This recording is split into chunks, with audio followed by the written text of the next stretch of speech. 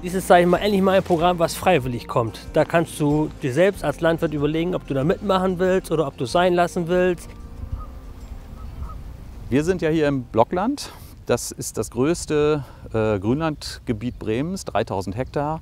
Die Gebietsbetreuung ist so ein, so ein Klammerprojekt für das gesamte Management der Natura 2000 Gebiete hier in Bremen. Dazu gehört dann ein Wiesenvogelschutzprojekt, Anlage von Kleingewässern, Anlage von Blenken, Entfernung von Gehölzen gehören dazu. Auch Maatgutübertragung und ein wesentliches Kernelement ist auch noch die, das ökologische Grabenräumprogramm, was wir hier vor etlichen Jahren entwickelt haben. Das Gebietsmanagement funktioniert eigentlich relativ simpel. Wir sind das ganze Jahr draußen, äh, 24 Mal im Jahr, das heißt im Durchschnitt alle zwei Wochen, in der Brutzeit auch häufiger. Wir haben ja hier ein Schutzgebiet, welches ausgewiesen wurde zur Erhaltung bestimmter Tierarten, also vor allen Dingen Vogelarten, äh, aber auch bestimmter äh, Feuchtwiesen, Lebensräume. Äh, dementsprechend gucken wir natürlich in der Vogelbrutzeit, also so von April bis Juni, insbesondere nach den gefährdeten Wiesenvögeln. Und es geht dann natürlich auch im Herbst, Winter um rastende Vögel, Gänse, Schwäne vor allen Dingen.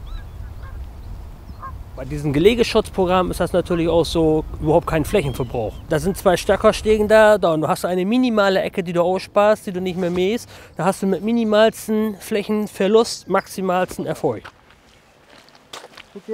Hallo Arno. Vor 15 Jahren äh, stand man sich hier noch sehr konfrontativ gegenüber.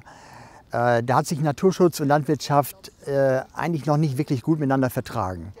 Und wir sind hier angefangen, in sehr offener, transparenter äh, Art und Weise mit einigen Landwirten etwas zum konkreten, praktischen Schutz äh, von Wiesenvögeln äh, uns zu überlegen.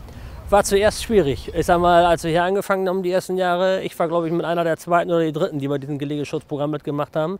Und äh, dann war das auch so, sag ich mal, dass die äh, an, bei der Feuerwehr haben die gesagt, was, du machst da mit sowas? Äh, was soll das denn, dieser Spaß und sowas? Ich sag, du, habe ich Lust zu, mache ich gerne und fertig. Genau. Bereits nach einem Jahr konnten wir darlegen, äh, Naturschutz, Artenschutz tut gar nicht weh.